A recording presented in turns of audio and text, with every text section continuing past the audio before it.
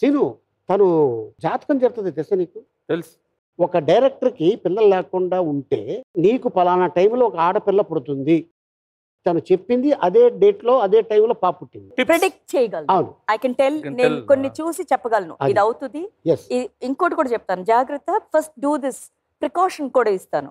చాలా మంది అలా చేయకుండా they had face that thing తర్వాత వాళ్ళకి తెలిసింది అమ్మ అప్పుడే చెప్పిందే అని. వెరీ ఫ్యూ అలాంటి విషయాలు. పాజిటివే హండ్రెడ్ పర్సెంట్ డైరెక్టర్ కాదు మన కోడి పద్మ ఉంది కదా మన. కోడి రామకృష్ణ భార్య. వాళ్ళ కూతురు పెద్ద కూతురు ఇప్పుడు ప్రొడ్యూసర్ అయింది. తను నేను ఎత్తుకునేదాన్ని. ఎన్నో ఏళ్ళ తర్వాత ఇల్లు కట్టుకున్నాక పిలిస్తే నేను పెద్దగా మనం వచ్చి షూటింగ్ చేసి వెళ్ళి ఇంటికి వెళ్ళినప్పుడు చెప్పింది అని.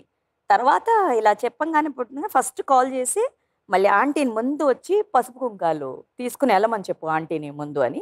తను ఇంకొకరికి చెప్పడం తను చాలా మందికి తెలుసాలి తమిళనాడులో కానీ ఇది కానీ నా ఇది ఏంటంటే అందరూ బాగుండొచ్చు తప్పో సరో మనమే కారణం. అప్పుడు చెప్పడానికి నాకు ఒక తులసి లేదు. నేను చేశాను తప్పులు. ఇప్పుడు తెలుసుకున్నాను తప్పు ఏది చేయకూడదు ఏది అని. అది మీరు ట్రై చేయండి అని చెప్పడానికి ఇప్పుడు నేను ఉన్నాను నేను వస్తాను నేను చెప్తాను. అన్నది. ఇది కూడా చెప్పడానికి దిక్కు లేకుండా ఎంతమంది అయిపోయారు. అలాగే చాలా మంది యాక్టర్స్ టెక్నీషియన్స్ దిక్కు లేకుండా వెళ్ళిపోయారు. ఒకటి అహంకారం నేను పాడు చేయాలి. కదా? లేదు నేను నేను అని చెప్పుకుని తిరుగుతూ అది పాడు చేయాలి. లేదా నీ డబ్బు సరే నేను ఇప్పుడు పాడు నాలుగు. స్తంభాల ఆటలో కొంచెం ఒక ఐటమ్ చెప్పండి. వెళ్ళిపోతారు ఆవిడకి ఎక్కడికో? అలా వెళ్ళకూడదు.